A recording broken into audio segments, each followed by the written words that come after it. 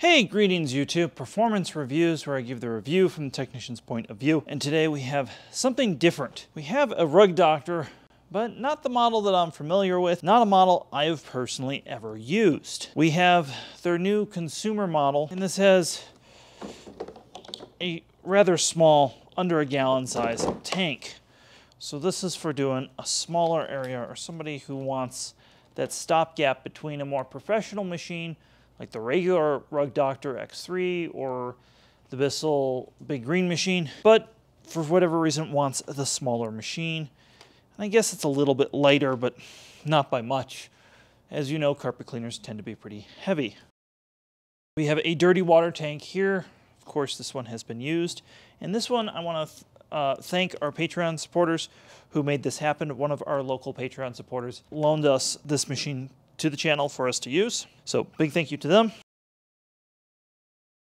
Underneath here, we have a brush roller, a really thick brush roller, and you can see kind of have a choo-choo train going on in the rear. That's something Rug Doctor did on their other design. Why they went for a brush roller and this seems a little complex to me. This brush roller is this brush roller is driven by its own motor. I didn't film it, my apologies, but I did go in here and this does have a solenoid, a pump, a suction motor, one fan, full bypass, and it does have a separate motor for the brush roller. So those are all separate things to be aware of. The tank does have a float in it, and then it does have accessories. We'll get to that a little bit later. The other thing that's a little bit peculiar is you have this knob, which enables this rear sprayer very, very peculiar that it can spray in two places, front and back. It just sprays out one place in the bottom. And traditionally, rug doctors would have two sprayers. So they went for front and back rather than left and right. Strange to me, but okay, w whatever. Uh, I guess the other thing we'll address is how the tools go on real quick. We have this connector that goes on right here the circle in, push down. And then this is going to connect. This is going to remind everybody of the old Royals, Dirt Devils, and the old Hoovers that connected like this. And again, match up the circle and lock it there. And now you have a upholstery tool, and that's all there is. There's nothing besides an upholstery tool. So there's no way of putting a crevice tool or anything else on this. The tools come on and off easy enough. One thing I did notice is they do tend to leak water on the side. There's no valve on here like some of the other extractors. The hand tools are straightforward and easy enough to use. There's no swivel or anything right here, so this hose has quite a bit of a memory and does kind of fight you a little bit. So you will have to work around that, but they are just like any other hand tool I've used on a carpet extractor. So you'll want to drain this over a sink in between uses. Up top, the handle is very simple. We have a rug switch and a tool switch and an off in the middle. And then we have our soap dispenser right here. The handle release does lock in multiple positions. So depending on your height, you can adjust it. That's kind of nice.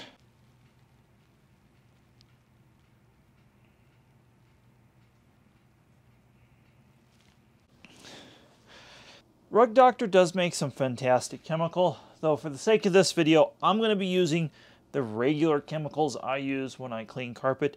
I have video probably on all three of these products by now, but I really like the Lindhaus solution for an overall carpet shampoo. I also really like using Procyon, and I like pre-treating and using the Pet Stain Eliminator by Unique. All these are fantastic products. I do recommend them. I'll have links below. You can also usually get unique at your local vacuum store and a lot of times at Ace Hardwares. So call around and look for that there as well. Now, as far as the clean water tank is concerned, it comes out easily enough. You have a nice wide area where you can fill this, and this will make it easy for bathroom sinks and awkward sinks to make this work. Now, there's a soap measuring cup here, and it will be in ounces right here in milliliters right here. Do not just fill this whole thing up. This is about a half gallon of water or so. So because of the size of the tank, do not fill this up all the way. make sure you follow the instructions of the cleaner that you're using.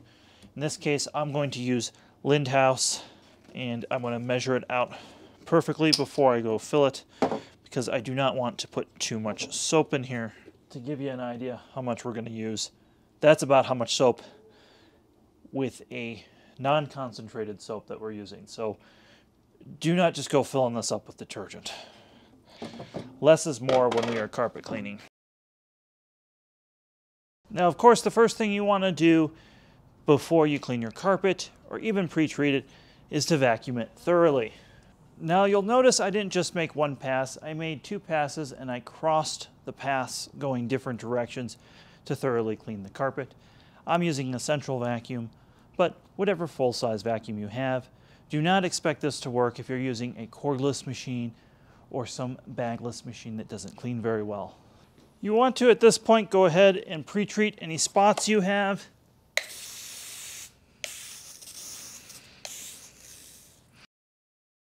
I like to use this sprayer. Now you're going to have to forgive the noise floor, but we've switched to the studio microphone. You're going to hear the real sound of the machine running, so you're going to get an idea of what this thing sounds like. I do want to warn you, a regular rug doctor and most extractors do require ear protection. So if you're wearing headphones, maybe be prepared to turn that down. This is going to be a little bit loud.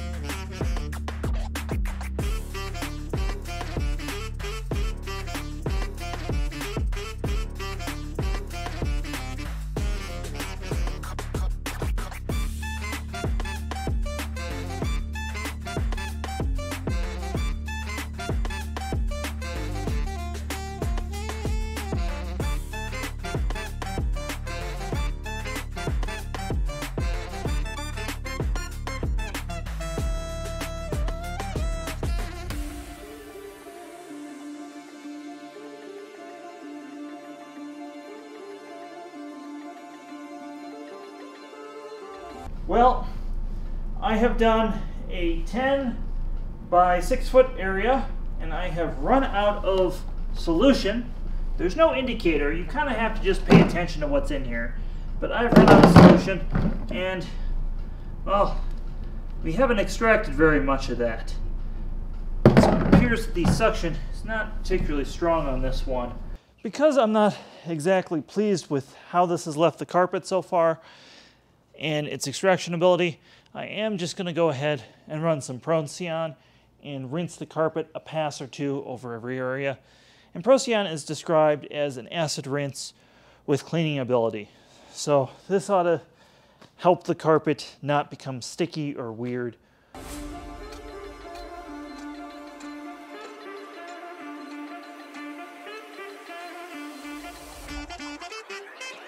This is what the carpet looked like afterwards. I've done about three wet passes with the Lindhaus shampoo, and then I did a pass with the Procyon and just a dry pass to make sure everything was dry. and this is the result. It's not horrible, but it's not great either. You really do have to make more passes with this than you do in other machines in this price point. Do I recommend this version of the Rug Doctor?